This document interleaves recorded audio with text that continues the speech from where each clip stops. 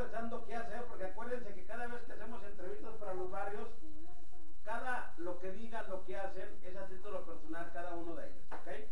Y pues ahora quisiéramos que nos dijera, a ver señora, usted, ella es, eh, voy a decirlo, la familiar del enfermo que tiene, y ahorita que nos dijera, pues algo de lo que tiene su, enfermo, eh, qué es lo que se requiere, y vamos a seguir adelante.